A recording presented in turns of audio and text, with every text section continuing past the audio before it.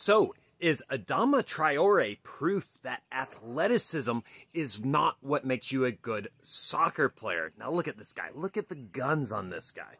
Now, I've got this comment in a one of many different ways, several different times when I state that the United States produces more top-level athletes than any other country in the world, that if we prioritize soccer, we would start winning World Cups more than anyone else in the world.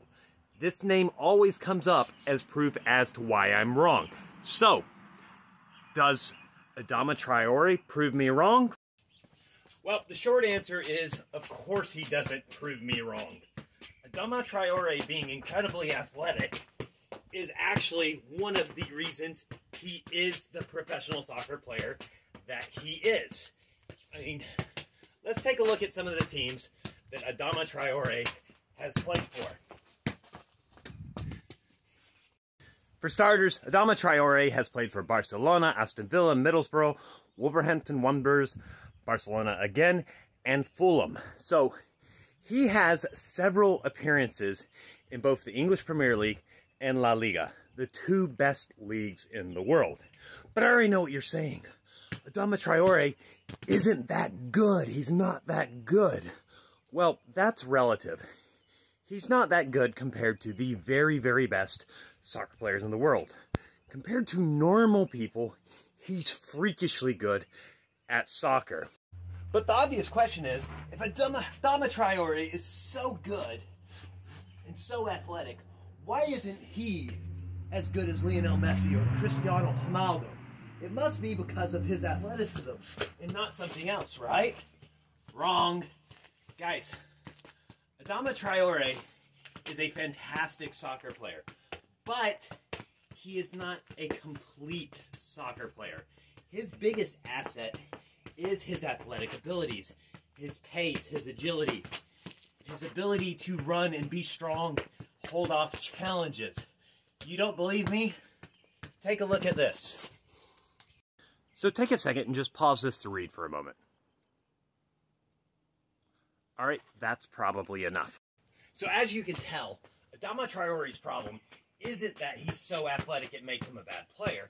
It's that he lacks some of the technical and tactical qualities to make him more effective overall. And here's the thing. That doesn't mean that you can't be athletic and technical as well. Because here's the thing. Think of who is considered the best players in the world right now.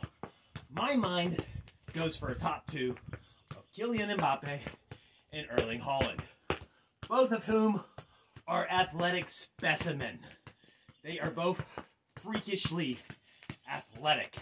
Kylian Mbappe is one of the most explosive athletes I have ever seen in soccer. And Haaland is a monster. The man is big, tall, strong. He's fast as lightning. And those are some of the reasons why he's they're the two best players in the world. But it's not just them. These two guys as well. Messi and Ronaldo. Part of the reason they're as good as they are, or as good as they were, is they're athletic freaks.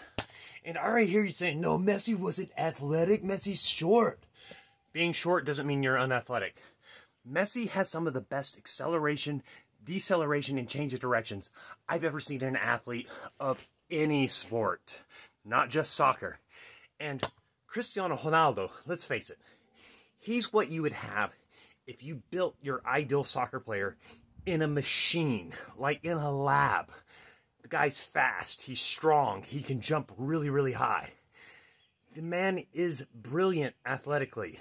And here's the thing all of this comes back to the idea that Americans simply are incapable of getting both the athletic qualities and the technical and tactical soccer specific qualities that are necessary to be an elite soccer player.